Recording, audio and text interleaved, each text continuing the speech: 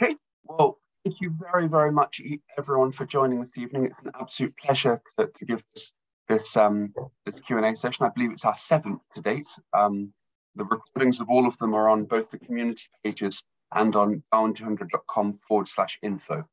So if, if you missed previous ones, um, please by all means do have a, have a little look on the website or the community pages. They're all up there and Tom will be too. It takes a, a week or so to, to edit it. So just bear with us, but we'll put the recording of this one up as well. So if you miss anything or want to watch it, uh, it'll, it'll, all be online on on um, on the website and also the Darwin 200 YouTube channel. Well, it's a, a, great pleasure to welcome everyone again tonight. My name is Stuart McPherson. Uh, I'm speaking from the Darwin 200 side, and we have the wonderful Gerben, Matthias, and Elvira also from the beautiful Oosterschelde side as well. So I'll hand over to, to the three of you for introductions your side as well. Perfect. Well, I, I see a lot of familiar faces, but I think also a few new ones. So sorry for everyone that already know about me, but I work in the office of the Oosterschelde together with Gerben and Matthias and um, have been working there for uh, 11 years. And I look forward to meeting you guys uh, by email or on the phone or during one of these meetings. And uh, I hope you have a lot of questions for us. Oh. Matthias? Sorry, Matthias? uh, yeah, well, uh, Elvira already explained. Uh, I'm also working uh, in the office. Um, well, the, the newest member of the team, I'm working there for a year now. But uh, for my entire life, I've been involved uh, in the, well, in the shipping company as well as Gerben is my father. So it's, well, we're turning it into a family business. And it's really exciting to, to work on, on well, preparing for the Darwin 200 Global Voyage.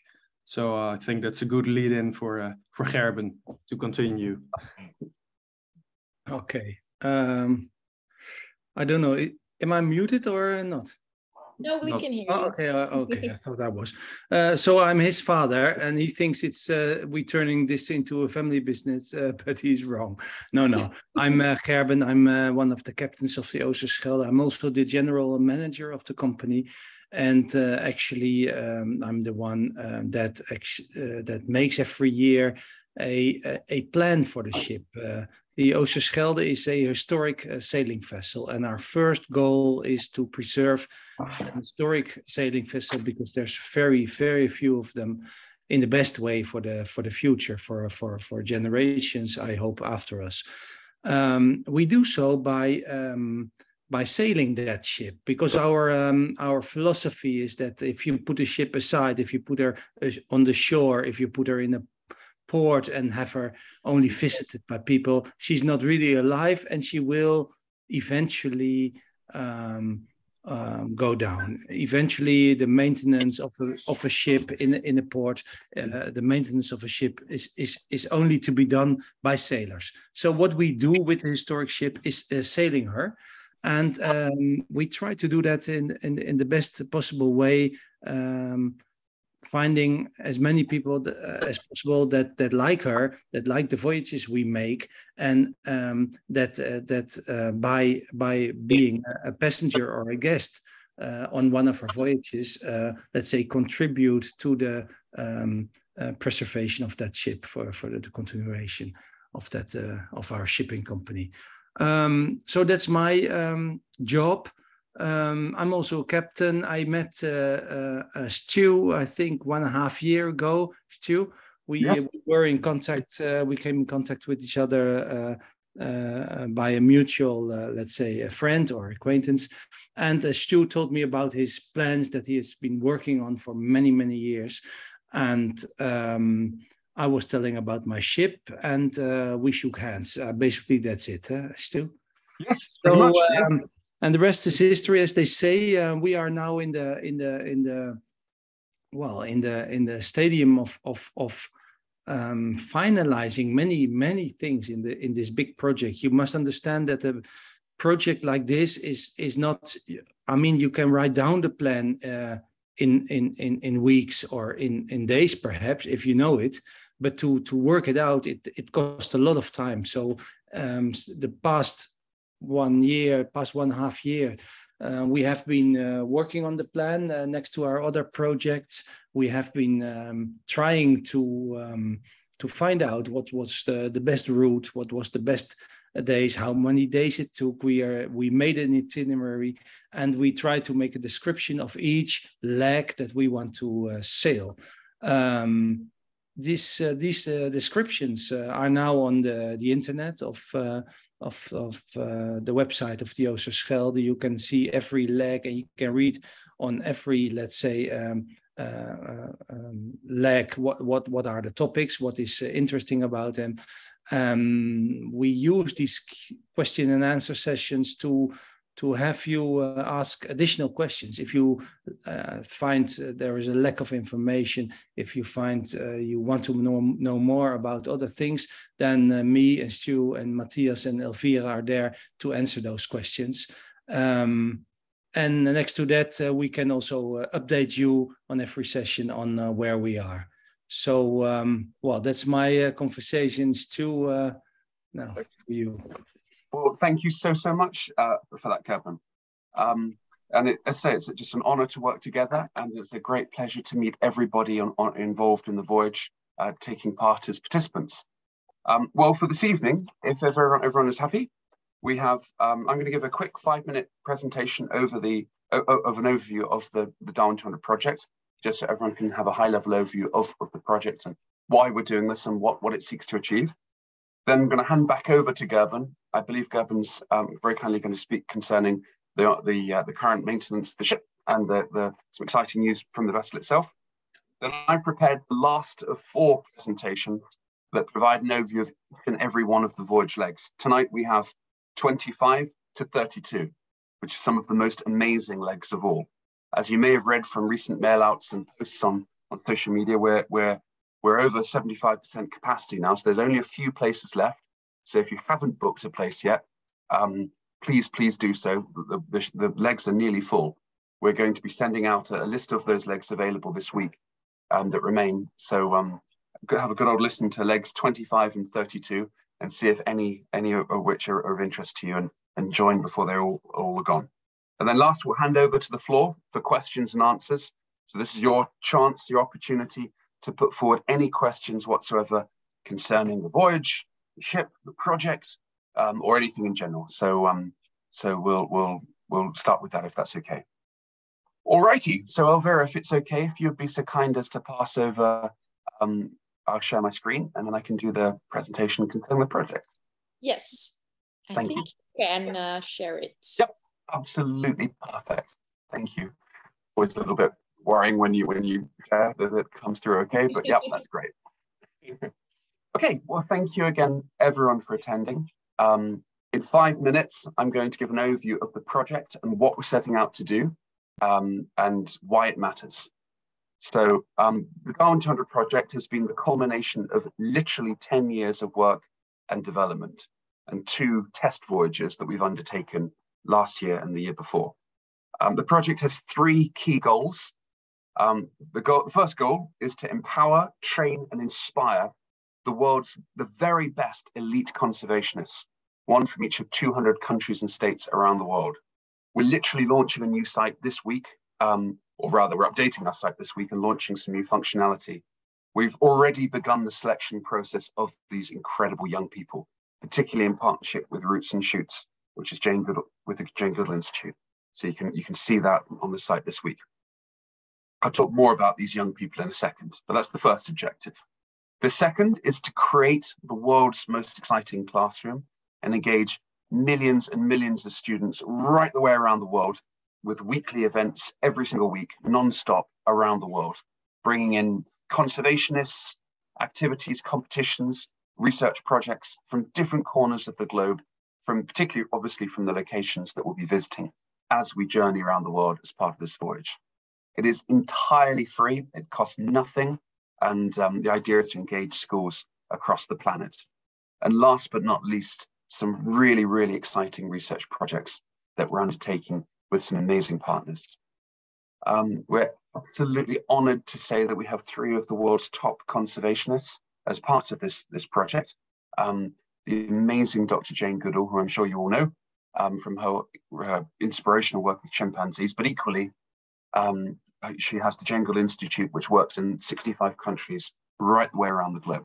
And um, we're selecting uh, elite conservationists from her network um, in those countries right now. The equally amazing and inspiring Dr. Sylvia Earle, um, basically one of the top marine biologists and marine conservationists alive today, whose, whose work stretches back seven, seven decades, right the way back, and has a particular affinity with the Galapagos. So it's a great, great honor to be working with, with, um, with Sylvia. And last but not least, uh, another person with a bit of a connection to the Galapagos, um, Dr. Sarah Darwin, who is the great great granddaughter of Charles Darwin, um, and an amazing um, biologist and, and, ecologist in her own right as well, that's undertaken some inspiring work as well. So you may have seen from, from the Dutch Tallship website and the Darwin 200 website, um, as Gerben was very kindly saying earlier, we've, sit, we've, we've planned out this incredible voyage around the world, which we want you to be part of. Um, we have simplified Charles Darwin's journey on HMS Beagle. What, what we've actually done, because the Beagle's voyage was five years, we've, we've obviously had to compress it into two. Um, the Beagle actually backtracked back and forward along the coast of South America. So there was obviously no point doing that. So we, we, we're going down the coast of South America once on the East Coast and the West Coast, rather than multiple times. And we've added in some additional locations which Darwin did not visit. For example, he did not visit Easter Island or or um, or Rarotonga or Fiji. We've added those in just because they're such incredible places, and to break up the long sea passages, to make the, the journey more more um, more interesting and, and even more exciting than it already is. We've also um, made one significant adjustment, whereas um, Darwin did cross the Indian Ocean, but only stopped very, very briefly in Cocos Keeling and Mauritius.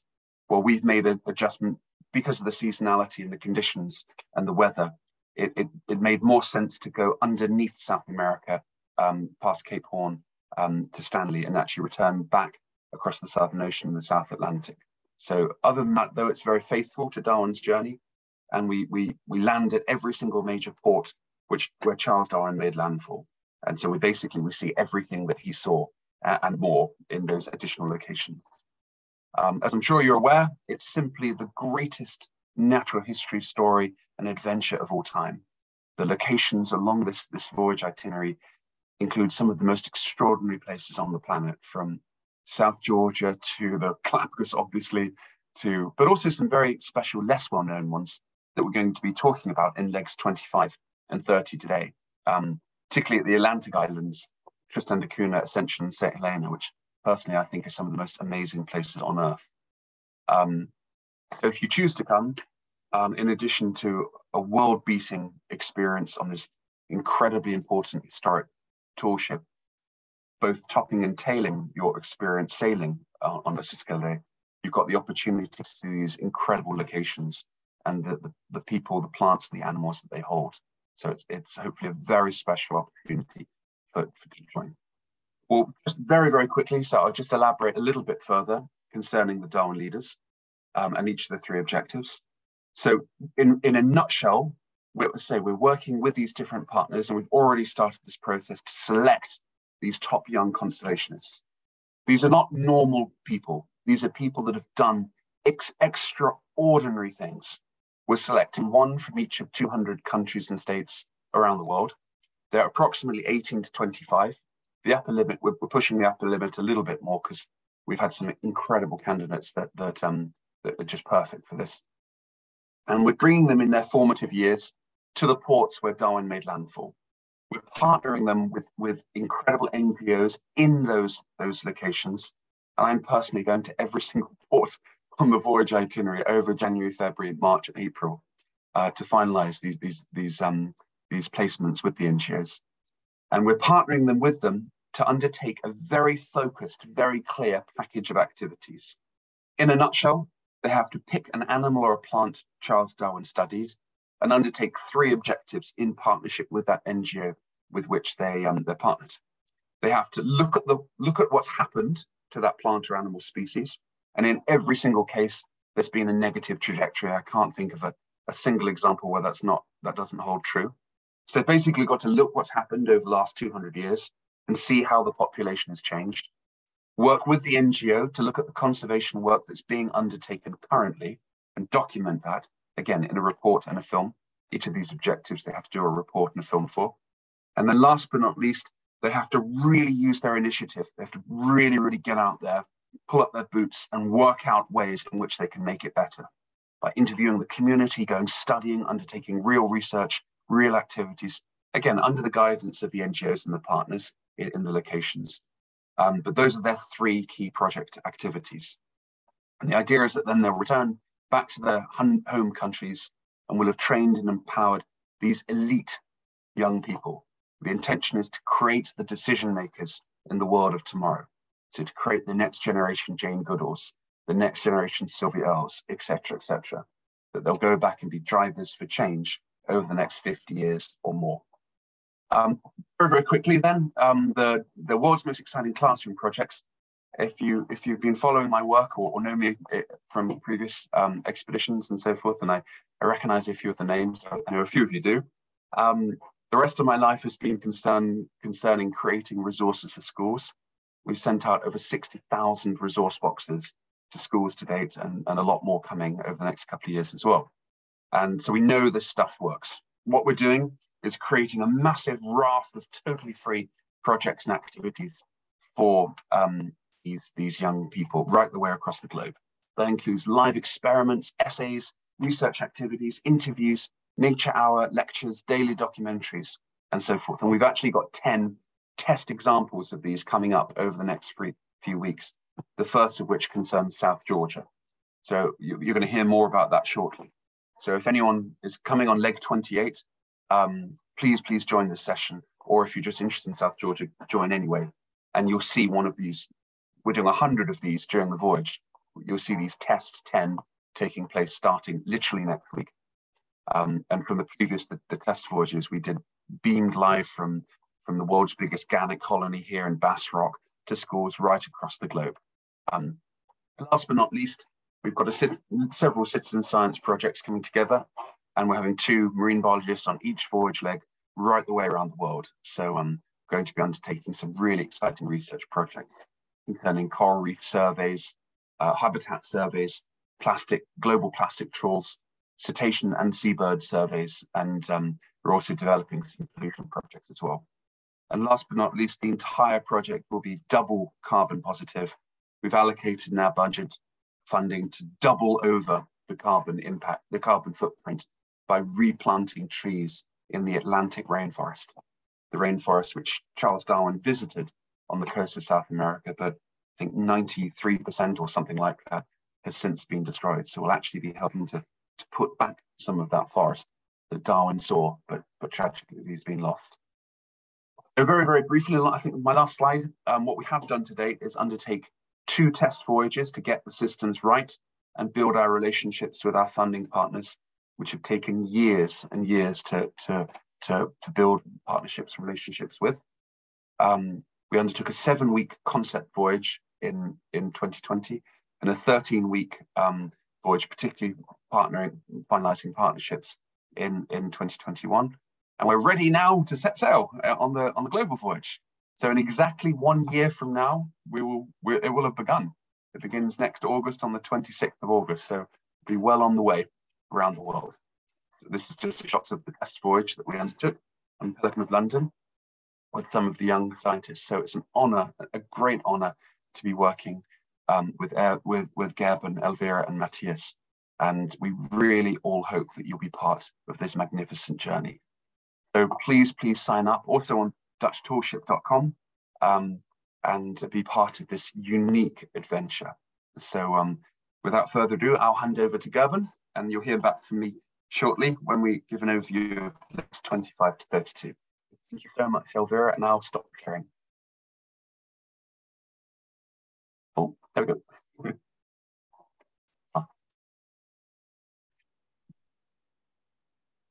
There we go. There we go. Let me see. Sure. Let me see. I um, would like to start with a, a little overview here of our um, website as you see, the website is it's like a little pictures with some description of each leg. And if you click on the uh, more uh, info uh, reserveren, this is Dutch one. But if you look at uh, DutchTallShip.com, you can click any leg you want and read more about it. Um, meanwhile, uh, where we were, uh, um, where um, Stu is, is let's say investigating and and and um, finalizing the the commitments of the NGOs and and and the youngsters that will join us uh, on the various uh, spots that we will visit. Um, I am working on the ship. Um, the ship is a historic ship. She's uh, built in 1917. She's more than 100 years old, as uh, she will uh, easily calculate, and that means she she needs a lot of uh, care. Um, this upcoming around the world trip actually made me decide to do some extra. Uh, we have a, a very thorough uh, maintenance schedule anyway. So um, this year we were about to take off the complete rigging to have that maintained. Uh, I mean, it's it's it's checked and and uh, actually certified every year. It's maintained uh, every day but uh, every five years you you you do something what they call a main survey on her and we take off uh, the whole rigging and and the mast and I take her in. So that uh, was what that what we are doing at uh, this moment. here you see uh, Oosterschelde. Um, she's here in the in uh, in a port uh, somewhere in the north of the Netherlands. And we have already taken off the the booms the gaffs the topmast the yards uh, all these spars. But now we are actually here hoisting off one of the main masts. This is the mizzen mast coming off the ship. And we are uh, actually uh, putting that into a huge uh, shed. These masts, um, made of wood, they are um, um, by far the biggest wooden masts uh, uh, in the Netherlands. And I don't think that there are many masts from one piece bigger anywhere in the world anyway. Uh, so we are taking them here in into a shed, and uh, my crew is uh, um, scraping them. We will uh, we we check them, we uh, sand them, we revarnish them, and if they need some special care, we give them that special care. Here you get a little impression of how big one such a mast is. It's endless. It's endless. So we've been working on this for the past days and weeks. Um, meanwhile, the ship here you see the ship on the on the ship on the slip. Um, so she's taking on the dry, and as you see, there is a huge uh, um, hole in their side. Um, that's a quite a bit, uh, quite a sad story. Um, it's an historical ship, so we try to maintain her um, as good as as we can. But uh, in the old days, there was some concrete ballast um, put in the ship. The concrete is meant as a, a ballast weight for the for to to improve the sailing, uh, let's say, cap capacity. And um, concrete is quite nice material. It fits in everywhere as uh, as long as it's uh, sort of uh, uh, fluid. Um, it's quite heavy, and so it it gives. Uh, and once it's dry, it's it it sits it it's stuck. So it's it's quite a safe and good ballast system. But um, between the steel and the concrete, there is um, a part you, you, you can never reach anymore. And we have noticed that there was some, on some parts, the concrete came loose from the ships after decades.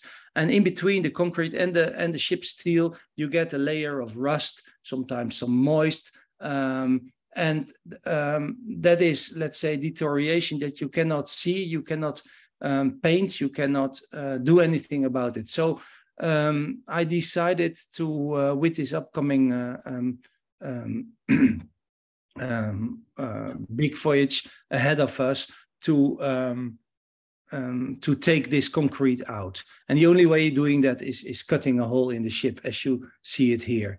we're well on the way. You see here the hole a little bit uh, uh, bigger. And uh, if you look very well, then then you see here, you see this concrete uh, uh sitting in the in the in the bottom of the ship, um, in the bilges of the ship. And here is a, a picture taken uh, actually today when I was on the shipyard, where we are actually reinstalling new frames here. And after that, we will put in uh, back in the, the hull plating. So we are well on the way. It's a, it's a big, big project. It, it looks quite sad and actually it makes me quite sad. But we all do that uh, to have a, a, a, good and sound and safe ship again uh, um, within a few weeks' time, because that's how quick it goes. And um, then we'll uh, put back on all the spars, on all the rigging, all the sails that are now at the sail makers, and we're ready to go uh, in the beginning of uh, December to sail again. Um, after December, actually, um, we leave uh, for a, uh, a, voyage to Cape Verde. We'll be sailing around in Cape Verde, around the Cape Verde Islands uh, for a few months, and then come back to uh, Europe um, to to do some other uh, sailing trips. And then uh, by August, we hope that everything is settled and that and that we'll be in Plymouth to to take off for this fantastic uh, around the world uh, voyage, this global voyage that we are planning now. So this is a very short interview, or, or, how you say, not interview, overview of the the works that we are doing currently. Okay.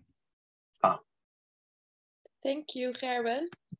Um, I will uh, see if I can. It is a nice photo just to keep like this, right?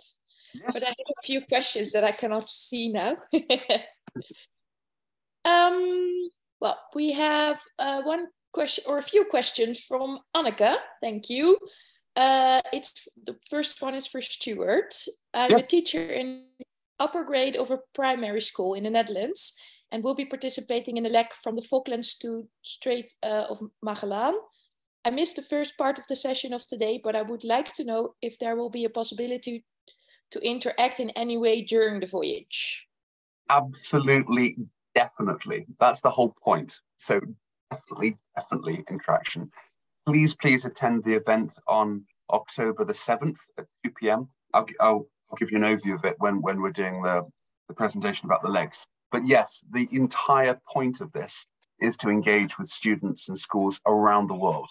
We'll be doing competitions, act activities, during 100, 100 events one a week for two years. So definitely we'll be interacting. Um, we're, we're actually, if you join the event on the, the 7th, you'll see it in miniature. So the events, the 10 of these that we, we've now prepared over the next six months, these are in miniature. These are small versions. We've got um, 3,000 pounds, British pounds in competition prizes that we're giving away. Um, we've got three activities during the event.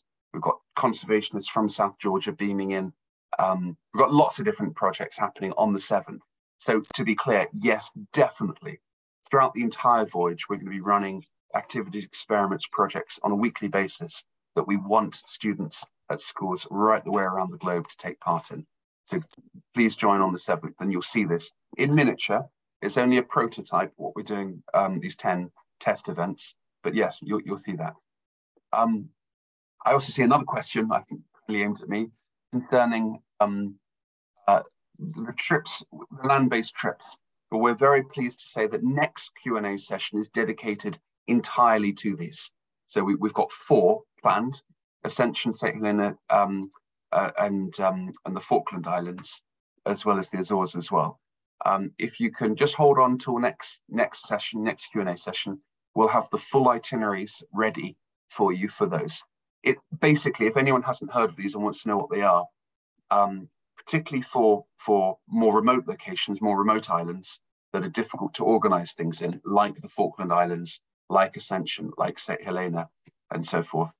We've um, we've actually organized a, a plan, a, a, week plan in each of these locations to help those taking part on the legs that start and end in those destinations um, to take to, to see some of the highlights.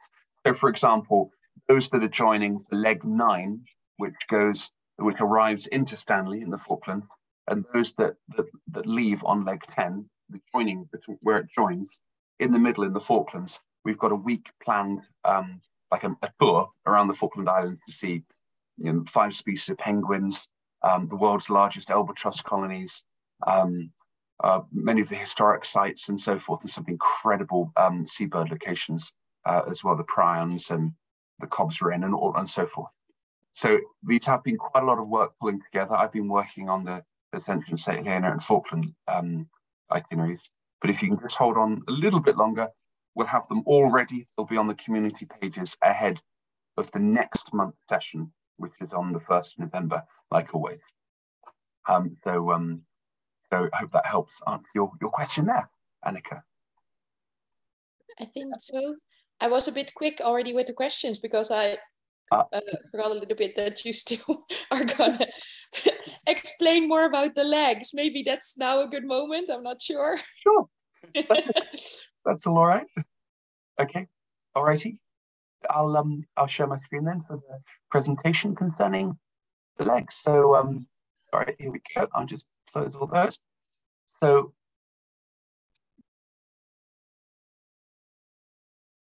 has watched the previous um oh sorry. Can you see my, my okay? No, oh. I can't oh. see it, but maybe it's my internet connection. No, I can't see it here. Okay. I might have to over. I might just have to leave and then join. Sure.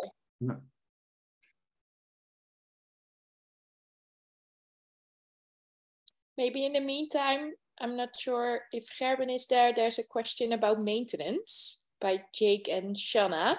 What kind of maintenance should we expect to do on the vessel during the legs? Well, all the um, the big maintenance is done uh, before or after you're joining on board, uh, except of course if something breaks or if something happens, then we have to repair that. But we don't uh, necessarily expect people to to uh, to help with that. If they have skills, if they want to, of course they can.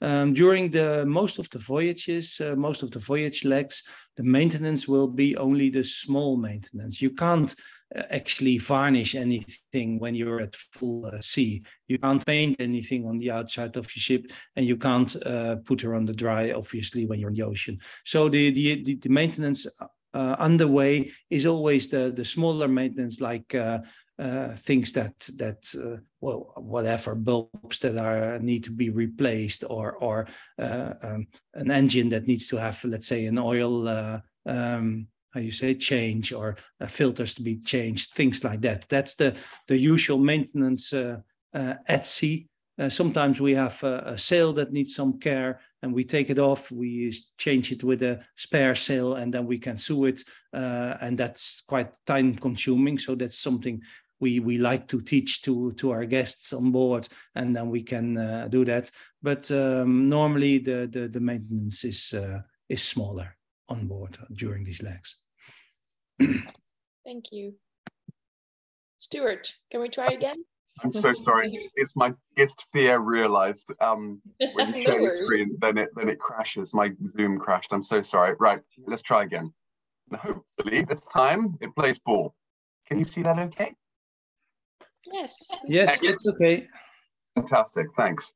Okay, so in our last session, we ended in on leg 24 in um, in Sydney, in Australia. So today we pick up the story back on, starting with leg 25. So actually this entire section here in orange, um, which is the, the, return journey back back um, to, to Europe from Australia. So um, you may recall um, leg 25 starts um, on November the 26th, um, and it's to journey down to Tasmania, to Hobart. it's, it's just over well, just over well, just over a week or so. And um, as you may be aware, this is a very famous sea journey in Australia, the, the Sydney to Hobart race. So you can recreate it, obviously not at the same time as the famous race, but still you can recreate that journey in some of the best conditions in the summer. Um, and um, I think this is a, a photo of a previous uh, previous part of that journey on, on one of the previous global voyages. Um, Hobart, if you haven't been, it, it's an absolute gem of a little town sitting under Mount Wellington. This is a really exciting leg starting in Sydney, one of the most beautiful cities in the world, and getting down to Hobart. And obviously, with the geography of Tasmania, you've got to pass quite a lot of coastline before getting to Hobart. So it's it's going to be a really fun leg and a really interesting leg with some incredible scenery and a great destination uh, when you finally finally reach land and, and touch base and explore. And um, although the voyage legs are really about the uh, the experience on Oosterschelde sailing um, between these ports. Don't forget when you get there, of course, there's that you have the opportunity then to explore the amazing sights from that each port has to offer. And, and Tasmania is particularly famous for its wildlife. It's unbelievable how easy it's to see echidnas. I've gone down there three or four times already um, from Sydney, and, and yeah, you can see echidnas really easily. I've never seen a Tassie devil in the wild, but um, but uh, friends of mine have, and of course wombat. So um, hopefully you have a great time in, in Tasmania. The next leg is a, another really exciting one, um, doing the crossing across the Tasman Sea, um, home to albatrosses and some amazing wildlife as well, leaving Tasmania and, and heading over to Christchurch. Again, Charles Darwin did not do this, um, but this is the point in the journey where we diverge from him. Um, the Beagle did reach reach Tasmania, of course, but from this point onwards, yeah, we diverge from the Beagle journey uh, temporarily. These waters, of course, are, are, famous, and it's a, a bit of a, um, a trial of a trial of rights in Australia. It's a very famous thing to do to cross the Tasman Sea and reach beautiful New Zealand. And of course, then you'll be perfectly placed to explore the South Island as well, um, famed for seals, fur seals, and sea lions, um, and, and, several species of, of unique penguins uh, as well. I think these are royal penguins. Um, and of course, yeah, exploring the South Island. Next leg is definitely one for um, those that don't have a faint heart. This is the most hardcore leg of the entire voyage, and really, really is advisable only for those that that are that, are, that have got serious experience and really, really determined to, to, to bag the horn. Um, as I'm sure as you know, going around Cape Horn was a, a trophy for mariners for hundreds and hundreds of years. Um, I believe it was Sir Francis Drake that I believe was certainly one of the first, if not the first, to to, to go around the Cape. Magellan went through the Straits, of course, but but Drake went through right under the Cape Horn, and hence it's called yeah uh, the Drake Passage, named after him. This is say is a is a wild experience for those that want a really amazing sailing adventure, and of course, there's no ship in the world better, more more amazing stood on than Oosterschelde. Um, this, this, this is the longest leg, also by far the longest leg of the entire voyage. As you can see from the dates, it's, it's over seven weeks in duration um, and um, crossing some of the roughest waters on the planet. So this is a serious leg and a sailing, serious sailing experience. But for those that, that want to absolutely hone their sailing skills and see some of the most amazing waters in the world, Cape Horn, yeah, it's hard to, to beat. I, I, believe it's true to say that the Horners, as they were known, used to be able to wear a gold ring, um, and they earned several privileges. Um, certainly in the Royal Navy, they could put their feet up on the table uh, in the mess when messing, and, um, and there were several other privileges that they, they could get because they'd achieved the honour of going around Cape Horn. So it's quite an accomplishment for sailors, past and present, to, to do this. Um, and I, I, believe this is a photo that that I think Gavin very kindly put in of, of, of a previous voyage of, of Oosterschelde doing precisely this. Um, notice the white water.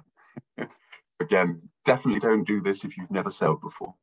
Um, for those that who just imagine that sense of achievement, reaching Stanley in the Falkland Islands after undertaking this epic, epic sea journey around Cape Horn, all the way from Christchurch.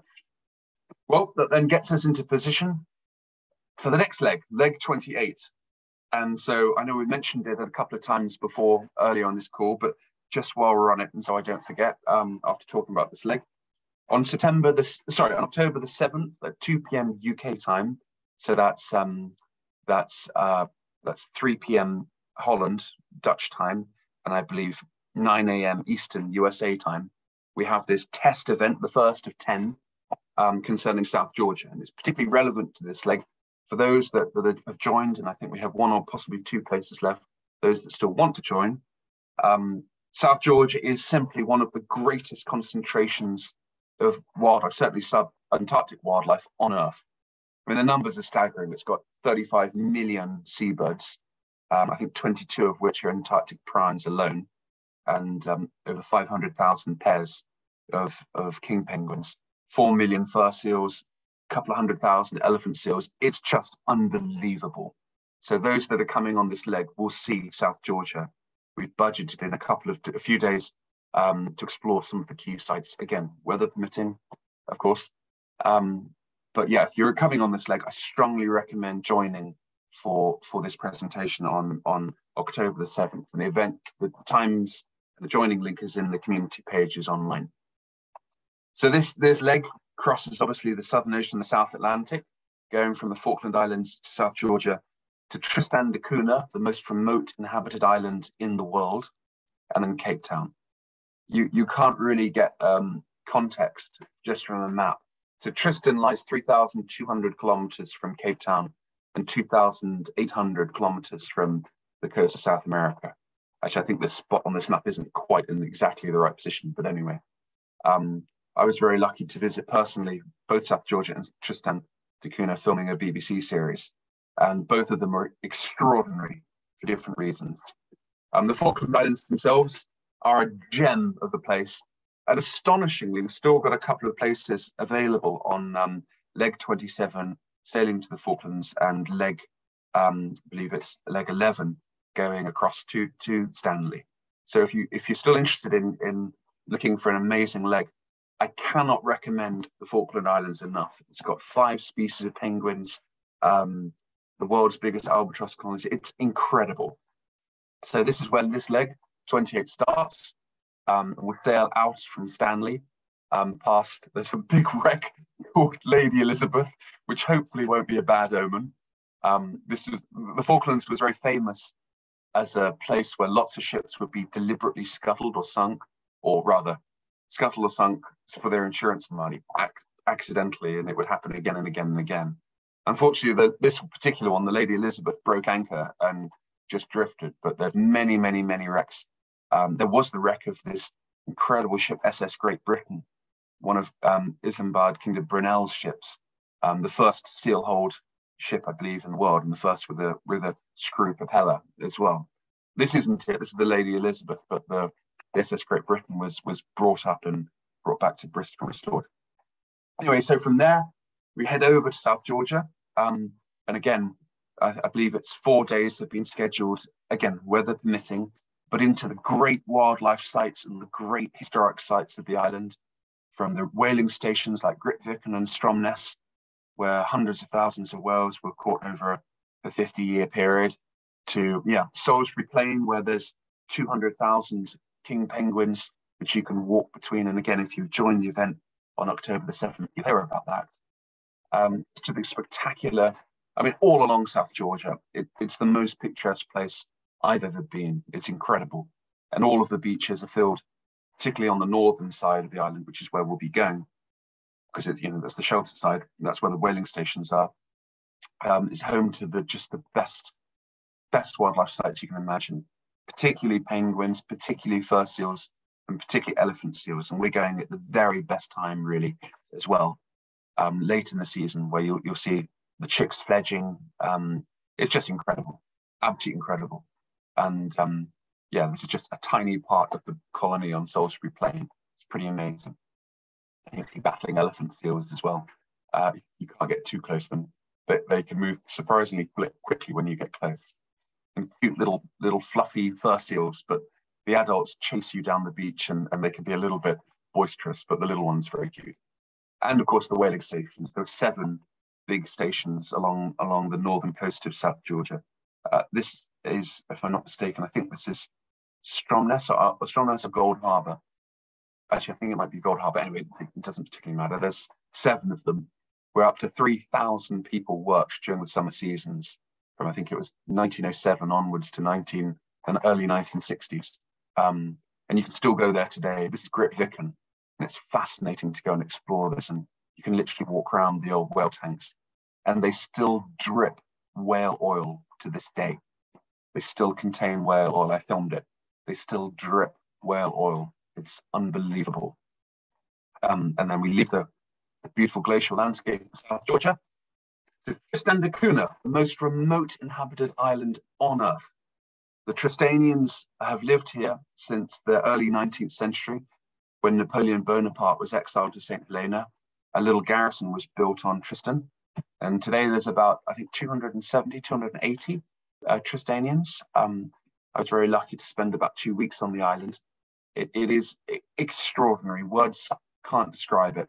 You, you have to experience, you experience it it is notoriously difficult to land though. So again, it is all weather weather providing, weather you know weather allowing. But the entire community lives on this little coastal plain on the left, um, where there's the little settlement called Edinburgh of the Seven Seas, which I think is such a beautiful name for it. And the Tristanians live a, a lifestyle, a very romantic lifestyle of farming and catching lobsters. Because it's a relatively young volcano, the waters around Tristan are species poor. There's relatively few crustaceans, but what there is is a type of rock lobster. Um, and because there aren't, there's no crabs and there's few other crustaceans, the rock lobsters are super abundant because they fill basically the entire ecological niche. And um, the island is totally self-sufficient economically. It, it's a UK overseas territory. It's funded um, for its defence and a few key elements like medical medicine and so forth. Um, but basically, yeah, it, it, the island is self-sufficient from farming, catching lobsters. Um, and if, if you can land ashore, it, it's one of the most unique and fascinating places I've ever been in my life. It's so interesting that the people are very friendly and interesting. I actually, I went the wrong way deliberately. I went from Cape Town against the trade winds deliberately in a very small vessel. It was only, I think, 32 feet long or something like that. So nowhere near as luxurious or special as, as Oosterschelde, but I did so deliberately for a film series um, and deliberately didn't shave to convey a concept of distance. And it, it took three weeks to reach the island. But again, we were going deliberately the wrong direction from Cape Town across to Tristan. Um, on our global voyage, we'll be going the sensible way um, from South Georgia up with the, the winds and the waters behind us. And these are the traditional houses of the Tristanians, made from volcanic stone um, and thatched. Um, and yeah, you'll be able to explore the island and see these unique tree fern forests, which it's famous for, um, and these these wonderful yellow nose black yellow nose um, yellow nosed albatrosses, which is very special for. And there's lots of endemic life, including these Gough moorhens and, and, and lots more, and, and beautiful waters uh, as nearby. Then, then we continue the journey and finally reach the continent of Africa. So imagine what it would be like coming into Cape Town after those long passages at sea and seeing Table, Table Mountain um, in Table Bay rise above the clouds. And as you may know, mariners would look out for this unique mountain and the, the, the, the clouds were called the, the tablecloth. It was known as the tablecloth coming off the mountain. So you might see that coming off as you come into, into Table Bay, um, then Berth, obviously in, uh, in, in, in South Africa. So, and, and of course, South Africa's an amazing destination and a good place to to be in its own right, full of interesting wildlife and amazing history as well. Lake 29 uh, goes from Cape Town to St. Helena. And if anyone hasn't yet um, chosen a leg, I think this one and the next one, leg 30, are, are amazing. St. Helena and Ascension are just little jewels in the sea. They are such interesting places. Um, and this is a really interesting, really fun uh, journey. I, I, I did this sea passage myself, but on a different ship called, it was at the time the last working Royal Mail postal ship called the, the RMS St. Helena, but it's been scrapped since then. St. Helena, if you don't know anything about it, it's a little island. Um, it's got about 300 inhabitants. Um, it was actually settled about 400 years ago, so it has a very long history going back. And it, it's just the most interesting place. It really is. It's like a living museum every single building, every single part of the island has stories. It's it's bristling with castles and fortifications. Um, it, it was originally Portuguese, then it became British. It was actually captured, I believe, by the Dutch, and then became British again. It's had a very colourful history, um, and was very strategically important as a victualling station. So ships going around the Capes or really returning more um, would call in here to resupply or repair hopefully we're not going to be needing to, to do much of that. But anyway, um, it's, a, it's an incredible destination to, to reach. And um, yeah, it, it, it, it's a, it, the, the local people are called saints or Saint Helenians, but they're known as saints. And um, the waterfront is, it really is like a, a walking, a walking, an open museum. Captain Cook went there, William Bligh, obviously Charles Darwin, many, many other key names in, in maritime history landed here for that very reason for victory. And they, the little town, Jamestown, is squeezed in this narrow valley because it's so narrow. Basically, nothing's changed. L literally, particularly down in the center here, every single building is 19th or 18th century. It's it's very very little change from when it when it was um you know, from past centuries. Ecologically, it's a fascinating place to reach and a really interesting uh, island in its own right. It's often called the Galapagos of the Atlantic because it has up to 500 um, species of, of bugs, of invertebrates that occur nowhere else in the world.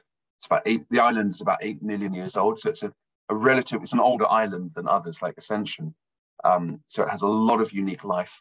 Um, it's also when Napoleon Bonaparte was was exiled, and lots of these bugs are named after Napoleon, which he probably wouldn't have been that happy about. Um, it's got great wildlife, including marsh boobies and seabirds, and the the oldest living land animal alive today, called Jonathan the tortoise. And you can go and see him if you want to, if you if you go to this this island. He lives at the um, the administrator's residence, which is that white building in the back. And if I remember correctly, he's known to have been around since nine since 1830. I think it might have even been earlier than that. He didn't quite see Napoleon. He arrived after Napoleon was would died on the island in 19, in 1821, I believe. But yeah, he's said to be the the oldest land animal alive today. Um, so what, nearly 200 years, and it's 100 190s, and so you can go and see him and pet him as the, the local kids uh, love to do. And last but not least, those that are interested in history, St. Helena is an amazing place where Napoleon Bonaparte was exiled and spent the last six years of his life and died in this very house called Longwood House. Leg 30 um, is, a, again, a fascinating place. I should just say, so you can fly to St. Helena and fly out from Ascension. So if you're wondering, how on earth do you get to these remote islands uh, in the middle of the Pacific before and after your leg? both islands are served by planes now, um, and um, you can fly in and fly out. And as mentioned, we're, we're planning land tours in both of these islands. So if you want to come on a, these legs and sail between these islands, you can then stay longer and, and explore these sites if you want to with, with a land tour. Ascension, I can honestly say, will blow your mind. It's a volcanic island. It's very young. It's only about a million years old, which for islands is nothing. Um, the entire island is is a volcanic cinder cone, basically. It's got something like 12 or 14 cones on the island, but the whole thing basically is a, a lump of, of cinder and volcanic ash. Um, it, it's defined by these dramatic, spectacular red and grey cones. This is what it looked like when Darwin visited. However, there's an incredible story about um, uh, about um, well, just after the Darwin visited in the 1830s, about 10 years later, the British Admiralty asked them to improve the islands. They planted thousands and thousands of trees on the tallest cone. Darwin was involved in this, but it was mainly run by Sir Joseph Hooker, who was the, the director of Kew Gardens in London. And they planted thousands and thousands of trees on the middle cone, the biggest cone in the mountain. And within a few decades, it formed the world's only artificial rainforest. You have to see this for yourself. As you got today, it's got three layers going from dry, spiny forest to rainforest to cloud forest, right the way to the summit. So well worth seeing. And of course, the island's famous for, for huge numbers of seabirds and unique birds as well, like the central frigate bird. And one of the largest turtle populations in the entire Atlantic, which we, we should be able to see when we get there. It's perfect time for them hatching. So you'll see hopefully both some adult turtles, but hopefully lots and lots of juveniles as well, and lots of land crabs and unique wildlife like that. Last but not, oh, sorry, the penultimate leg is from Ascension right the way up to the Azores, um, which, uh, which is a really interesting leg as, as well, heading all the way back up to the Azores and crossing the equator in the process. Um, and seeing um, as you go north, of course, you're seeing more and more dolphins, particularly common dolphins as well, and reaching the amazing uh, archipelago of the Azores, home to these spectacular volcanic cone, these volcanic um, uh, remnants of, of these ancient volcanoes. So very, very different from Ascension Island, um, but lush and green. At this point in his journey, Darwin was seriously homesick So he only really stepped ashore for a few hours. But you can pick up where Darwin didn't and explore this amazing place and enjoy the passage from Ascension right the way up across to the Azores uh, as you're going. And of course, the waters around the Azores famous for their whales and dolphins, um, particularly particularly humpbacks as well and, and migratory whales. So you'll see those. Now the very last leg of all, leg 32 from the Azores all the way back to Falmouth. And just imagine the sense of achievement being on this leg and reaching. Oh, I'm so sorry, that's actually the wrong map in there. Sorry about that. Um, imagine the sense of achievement reaching Falmouth and, and stepping ashore exactly how Charles Darwin did um, the best part of two centuries later. The waters in this part of the Atlantic are very famous again for their, their dolphins. You, you should see common dolphins, uh, several other species of cetaceans as well, um, bottlenose as well, almost certainly. It is famous for basking sharks. If you're lucky, you might see them. And you almost certainly see sunfish, mola mola, these gigantic fish that, that eat um, that eat, jellyfish. Amazingly, that, that that's their primary food. So while you're sailing north, you'll see endless amounts. Um, you should see a lot of, of interesting wildlife and things during a sailing experience. And finally, seeing Falmouth appear on the, the horizon and stepping ashore. And we've planned um, a really wonderful event for that very evening, a bit of a party slash festival to conclude the global voyage. And of course, everyone in the voyage is invited, but especially for obvious reasons, those on leg 32, concluding this epic, epic two year global voyage. And with this slide, it concludes my four part presentations about each voyage leg. You can watch the other ones um, on the other on the recordings of the earlier question and answer sessions. I guess concluding thoughts that no matter which leg you choose, you're going to have an incredible, incredible experience. And of course, my presentations are focused mostly on the, st the start point and the end ports because that, that's where I've got photos of. But what I can't convey is those magical experiences aboard the ship, seeing those sunsets, seeing the weather, the patterns, the rhythms of life at sea. And that's, I think, the, the greatest value and treasure of this unique voyage. So thank you for listening to the last eight legs of, of the voyage. And I'll hand back to Elvira. Any questions uh, from this point? Thank you so much for listening. Thank you, Stuart. Um, I have a question from Daryl uh, about the land-based tours. Uh, I know he knows that you'll be speaking more about it next uh, next week or next time. Uh, but uh, will everyone who wants to participate in the four on-land programs be able to do the programs, or might they sell out? No, no, it's absolutely no problem. Um, we, we um, everyone can participate that want to. Um, if we did have too many people, because some of the legs we have two legs adjoining. So we've potentially got got two groups, two voyage leg groups overlapping. But of course, not not everyone's going to want to do it. But if there were to be too many, I've already got backup guides on both uh, on, on all of the legs that I'm organising: Ascension, St Helena, and Falklands that will step in and do this.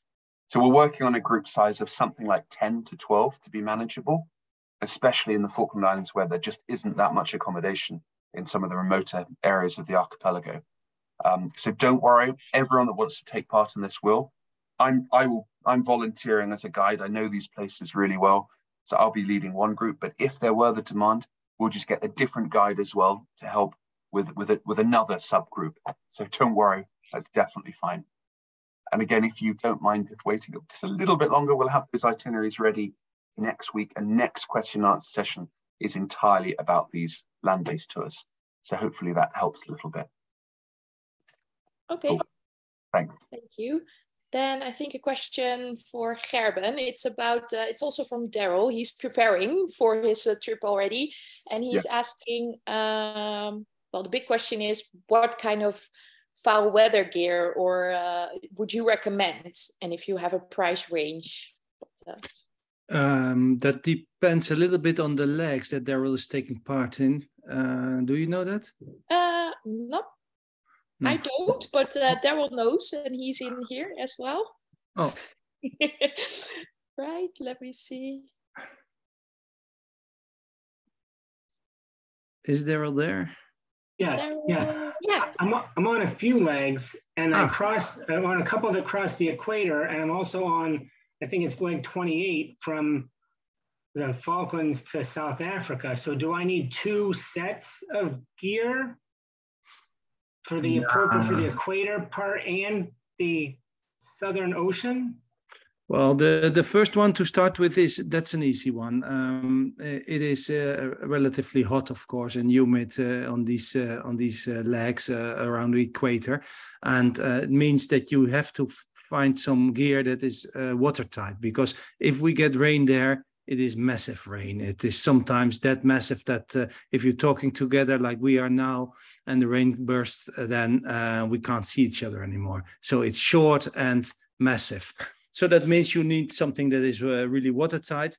On the other hand, we also used to uh, undress, uh, well, not quite completely, but quite a bit, because it was a nice uh, moment to get a shower. So sometimes the rain stops before your hair was washed out, but in your case, uh, I think you'll be quicker than I am. Um, but um, so for that, light stuff will do. Um, for the other part, if you're sa- sailing from um, the Falklands to South Africa, the Southern Oceans, that is a bit more um, uh, um, um, heavy stuff. Um, so, but you don't need to have very expensive gear. The thing is that you need to stay uh, dry and you need to stay warm. You can achieve that by buying the most expensive gear that you that you can find. You can also have simple stuff like the fishermen wear and and wear a good uh, um, uh, some layers underneath it. And just simple gum boots if they are big enough to to to to allow you to wear to wear uh, uh, uh, two pairs of socks for example that's good enough. So don't go for the for the price. Don't ju- just go for the quality. Like it should be a bit stronger on these southern passages because you will be working a bit more in it. On the other ones i mean it's like okay rain again you can go down or you stay outside and but that's that's light stuff will do. The other thing a little bit more heavier gear uh, will do but but i mean just simple gear will do. Yeah. Thank actually uh, daryl uh, i forgot to mention um, that's a bit uh, in in in the community pages we have also uh, time to um, actually tell you what is for uh, uh, one leg or the other leg would be handy. And there's also uh, perhaps um, we can set something up like i mean if you have your boot your gum boots are let's say uh, size 10 then maybe somebody who was before you on board can leave them for you or you leave yours to the next group something like that. So that's one of the reasons that we um, set up this uh, community page is uh, it, otherwise you're carrying around some gum boots all over the world. But uh, anyway yeah. Yeah, maybe to add to that, it's always good to, to I think work with layers and for stuff that is outside. So maybe, but that, we will explain that as well in the community to make a packing list. Uh, but on the very cold legs, it might be good to have two pairs of uh, gloves or two two hats because if one is wet, you can put on a dry one. That kind of stuff. But uh, and what I will do is uh, uh, put in a community on Monday uh, a few photos of. Um, of the clothing that, for instance, our crew wears, that uh, that you have a bit of an idea on uh, on what you could buy. Okay, are there any other questions? It's very quiet. I, I have a question. Uh, for, for Gerben, um, I'm glad to hear that, uh, I, I don't have to worry about bringing my tar gear for tarring anything, but, uh, what are your regulations for going aloft? Um, well, uh, first of all, we uh, we um, we we try to encourage everybody to climb aloft, but of course, some people are uh, more handy or more fit or more um, trust themselves a bit more than others. So it is always under the uh, guidance of the of the permanent crew. of course, on the so they will the first time you go aloft, they find that nice moment a stable breeze where the ship is leaning into the rigging where there's no uh, uh, things like that no no big waves no rolling and then we uh, we guide you up uh, we teach you how to wear a harness how to use the harness, where to hook onto, and how and where to put your hand and your feet. Um, after uh, you've done that together with a, a, crew member and you feel confident, um, you can do it alone you will still be monitored. There's always a crew member. Also, for example, if we furl a sail, there's always crew members, but they will keep an eye on you and they will give you tips and tricks. But um, uh, the longer a voyage gets, the more you get uh, into, uh, let's say, the, the, the sailor's life. So um, eventually, you you you be good enough to to do it yourself. But there's always um, the guidance of crew, and always a harness.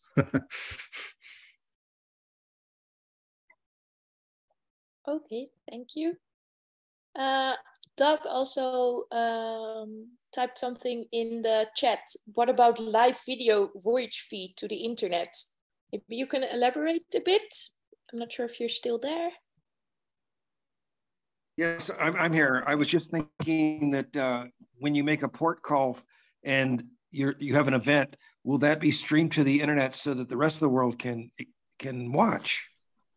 Yes, absolutely. I mean, depending upon the location where we're based, we've got a combination of internet, uh, we've got a combination of sat feeds, and and to be honest, where possible, just because of cost, we'll be we're trying to trying to use you know lo- local 4G and so forth where we can. But yes, we we have we have got that in the works, we are that is precisely what we're planning. We're looking at feeds, um, particularly in the ports, um, for all the ports where, where we where we can. So yes, Great, great. That sounds great. I, that's, that was the big thing I was going to ask last time, but I'm glad you, you have a oh. nice answer. Thank you. Yes. We, we partnered with Exploring by the Seat of Your Pants. They've actually got a meeting literally next week concerning this. Um, so we're, we're trying to organize a, a, a bulk bulk sponsorship deal with a service provider specifically for this. So yes, that, that is absolutely what we're working on. Thank you. Thank you. Yeah. Oh. you had someone something to add? Yeah, well, it's a little bit off topic, but uh, actually, I am uh, investigating the the the um, to achieve or to to uh, to to purchase uh, uh, a little um, um, well, well, let's say a router on board that is uh, working together with Iridium satellites. That means that um, um, e even in the middle of the ocean, you could be sending small pictures or messages uh, home. It is uh, not so expensive. I, I will take a. Um, um, um, it's not expensive for you. It's, it's not not that expensive for us either. The only um, um, how you say limit is that it is quite slow. So you can't send streaming uh, uh, video. But it is also for the, the people that are on board possible to make a selfie of yourself they're all up there in the mast or who was asking and uh, and send that uh, home. And uh, and and also for other people to send you a little message. And um, i think that will um, well in one way um, changes the, the, the world a little bit because one of the things that, especially on these longer voyages, uh, that in the old days was um, special was of actually that once you set off, you'll be you'll be off the grid. You're you, you nobody can reach you anymore. Nobody can. It, it's something special,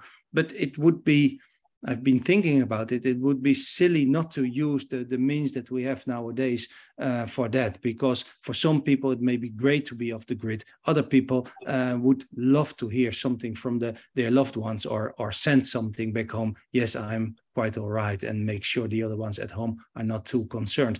So I um, actually I already ordered it months ago, and. Uh, the only thing we're facing is some kind of a mondial problem of, of chips and so so I ordered it, I paid it, but I didn't uh, receive it yet. But by the time we set off, I'm I'm quite sure this this uh, um, this stuff is on board. So uh, that's that's something added to what is already done uh, by uh, by by Stu. You can do yourself. Keep your back home. Okay, and then uh, when would when is the first payment due? January first or at the end of January? Is that question for me?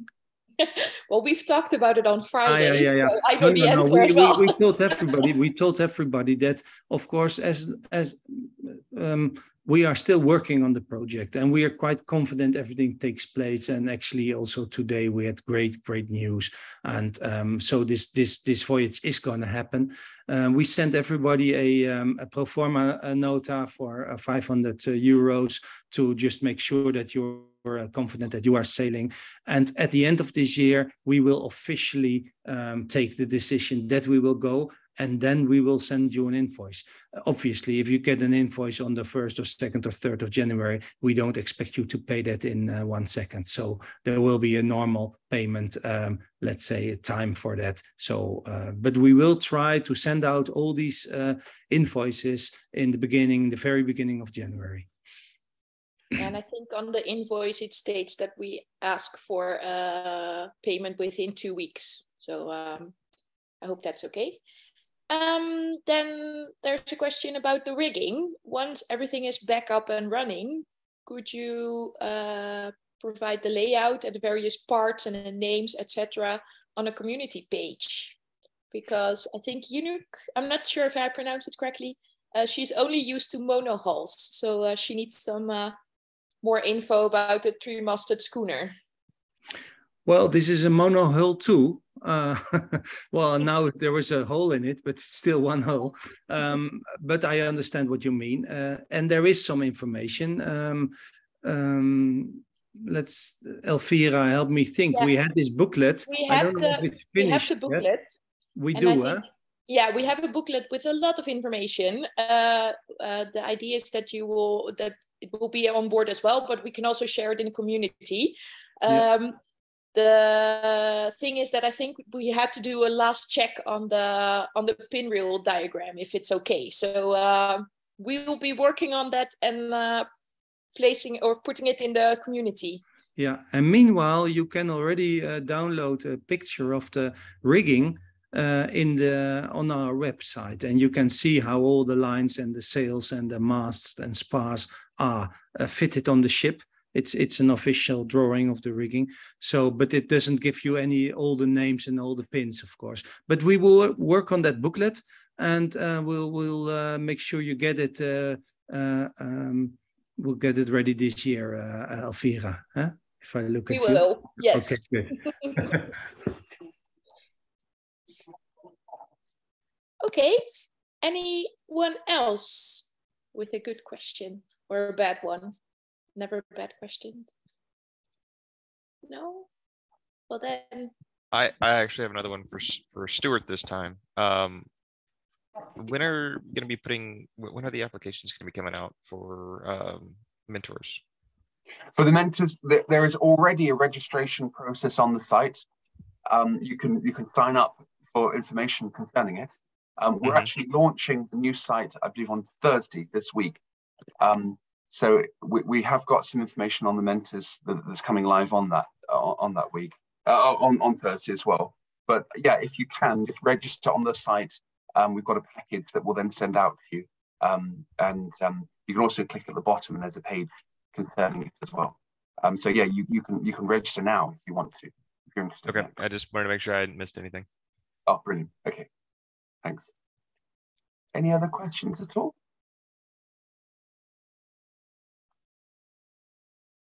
No. No? Well, okay. Then I would say have a lovely Saturday evening if it's everyone's evening already. I'm not sure. Yeah. Beautiful. Yeah, daylight, I see. okay, well, thank you very much. We hope to see you all again uh, on the 1st of November. Fantastic. Thank you so, so much, everyone, for coming and taking part and it's great to meet you, meet you all. So thank you so, so much. Bye. Thank you for your Bye. time. Thank you. Thank you.